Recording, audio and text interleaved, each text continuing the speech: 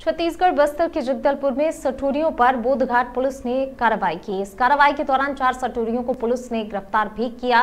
वहीं सटोरियों के कब्जे से पुलिस ने तेरह हज़ार नगद, मोबाइल और सट्टा पट्टी की पर्चियाँ बरामद की हैं। एसपी हिमसागर सिदार ने बताया कि पुलिस को मुख्य रूप से सट्टा खेलने की सूचना मिली, जिसके बाद बोधघाट टीआई लालजी सिन्हा के नेतृत्व में टीम गठित कर शहर के अलग अलग क्षेत्रों में रवाना किया गया, जिसमें चार सटोरिये रंगे हाथों पकड़े गए। इसके साथ ही आरोपी के विरुद्ध मामला दर्ज कर आरोपियों को गिरफ़्तार कर लिया गया। उक्त टीम के द्वारा आज कुम्हारपारा नया मुंडा बस स्टैंड, रविंद्रनाथ टैगोर आदि अलग अलग जगहों पे रेड कार्रवाई किया गया।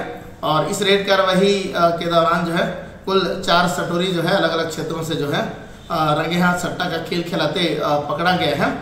जिनमें इंदर राम निषाद और अन्य तीन जो है, शामिल हैं। और चार आरोपियों के विरुद्ध थाना बोधघाट में धारा चार का जुआ एक्ट के तहत जो है सट्टा की कार्रवाई की गई।